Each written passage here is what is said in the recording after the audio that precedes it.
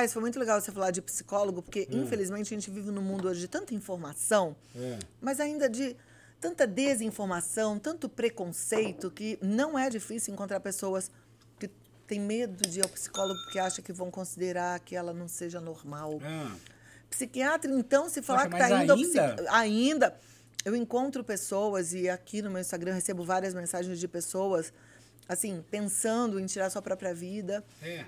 É, aliás, depressão é uma, é uma doença muito séria, né? Eu perdi um amigo na semana passada que desistiu de viver por conta de uma depressão. Isso me marcou profundamente. É, depressão é uma doença muito séria. A gente precisa levantar essa bandeira contra o preconceito. Ah.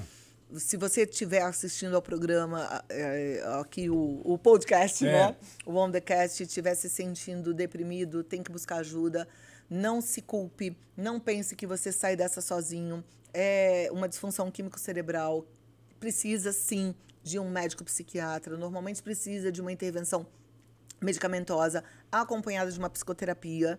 É, tem várias linhas, você vai escolher a linha que melhor cabe ali, mas você precisa se tratar. Não adianta falar assim, não, mas eu vou conseguir sair sozinho. E uma outra coisa que é legal falar é assim: tem muita gente que fala aqui comigo também em mensagens que já está em tratamento para depressão há anos. Ah, eu tenho depressão há tantos anos.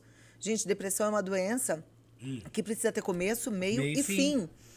Então é assim, se você está tomando um medicamento há anos e esse medicamento não te deixou zerada, não te deixou bem, é porque esse medicamento está errado. Tá e como é que você acerta esse medicamento? Conversando com seu médico, voltando no psiquiatra. Ah, mas o psiquiatra no SUS é muito difícil. Insiste, entendeu? Precisa voltar, porque aí assim, às vezes é o medicamento que está errado, a droga, né, a composição dele que está errada, precisa Errado. mudar e tem várias, várias classes de medicamento. Às vezes é a dosagem, A do dosagem. medicamento que precisa ajustar. Então tem que ter essa troca.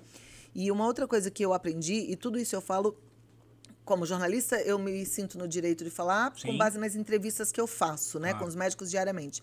É, existe um tempo de tratamento, então o paciente ele começa o tratamento para depressão. Quando ele se sente zerado, vamos supor que depois de Ó, o remédio, o antidepressivo demora pelo menos 15 dias para começar Fazer a fazer efeito. tá? Primeiro 15 di- primeiros 15 dias, nada.